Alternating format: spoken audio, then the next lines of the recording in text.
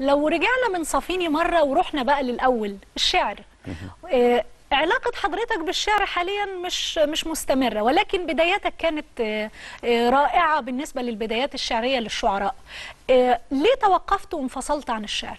أقول لحضرتك هو الشعر عادة أي واحد في مقتبل عمره بينزع للشعر.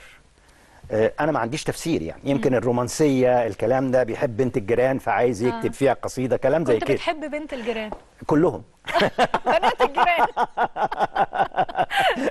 فالمهم آه، ابتديت شعر وما كنتش في ذهني إن أنا هنشر. آه. بس كنت بكتب بانتظام إلى أن يعني أقنعني أحد الأصدقاء بان أنا أنشر فنشرت فابتديت اتورطت. أول ما بتنشري بتتورطي لأن بعديها الناس بتقول لك. فين بقى الشغل؟ هتكسل ليه الكلام ده؟ فيعني إيه آه، تص- تصورت إن أنا بقيت شاعر وابتديت أشتغل. آه. الحقيقة أنا حبي الأكتر للمسرح فاتجهت للمسرح وعملت مسرح شعري. آه. آه، لأن آه، حتى أنا في القصائد كتير من قصايدي كانت آه، في شكل دراما أو قصة. آه. و... وأنا أول ديوان ليا كتبت لنفسي مقدمة آه. صفحتين ثلاثة يعني بقدم نفسي وبقول وجهة نظري إيه وقلت الملاحظة دي إن أنا بلاحظ إن كتير من قصايدي واخدة شكل الدراما أو القصة و... وممكن نسميها قصة قصيدة يعني أو شيء آه. من هذا القبيل آه. بس بعد ما عملت مسرح وتعبت فيه جدا لأن المسرح شغله صعب يعني آه. ما عرفتش آه، آه، أنفذ المسرح ده لأن طبعا أنا اسمي مش معروف عامل مسرح شعري ف آه، يعني حتى وصلت للمسرح القومي وقابلت المسؤولين فيه وكانوا قالوها لي بكل صراحة مش ممكن نطلع على خشبة المسرح القومي مسرحية شعرية لواحد مغمور مش معروف ده كان سنة كام؟ كان سنة مثلا تقريباً. آه، 71 آه، 91 92 آه. ففي الفترة دي كان ال- المسرح الشعري غير لا رائع بيتعمل بس لمين؟ للأستاذ فاروق جويدة الناس آه. المشهورة. أسماء ك- كبيرة يعني. آه إنما. طبعا واحد لسه مش معروف مم. ما كانش ممكن يغامره يعني. آه. فأنا حسيت إن ال- ال- الطريق مسدود وده يمكن سبب لي نوع من الضيق فابتديت أفكر أتجه للدراما بقى الروائية.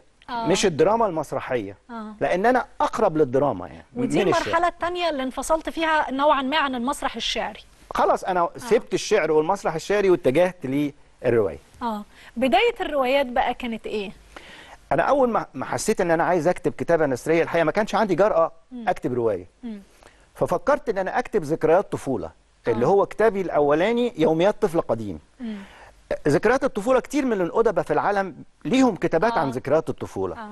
ف... فأنا يعني قلت ده شوية أتجرأ آه فعملته وفي ال... أنا كنت بطبع على حسابي كل كتبي ما آه. بديش ناشر أو كده لأن آه. برضو خجل مني إن أنا ألجأ لناشر وكده فبطبع عدد محدود على حسابي وبيتوزعوا توزيع محدود جدا يعني آه. في الحدود الضيقة اللي أنا بوزع فيها سواء لبعض الصحفيين أقسام ال... ال... الأدب في الجرائد الرئيسية بعض النقاد أصدقائي أنا كنت بقعد مع الدكتور عبد القادر القط في جلسة يوم الجمعة وكان دي جلسة في مصر الجديدة آه، الأول في كازينو اسمه غرناطه وبعدين في الانفتريون ففي مجموعة من النقاد والأدباء بهديهم.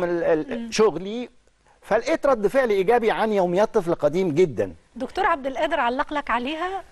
آه، ولا ما تعرضتش لا؟ الدكتور عبد القادر القط قليل الكلام. آه. إنما هو إنسان عذب جدا شديد العزوبه آه. وكنت بشعر بنوع من التشجيع الضمني آه. أو الترحيب الضمني. مم. طبعا ممكن يكون بيعمل ده مع كل الناس إن هو إنسان شديد الرقة والعزوبه في الحقيقة يعني. آه. وبعدين دخلت بقى في الرواية وابتديت أكتب وأجد بعض الأصداء الطيبة من المحيط الضيق اللي حواليا. آه.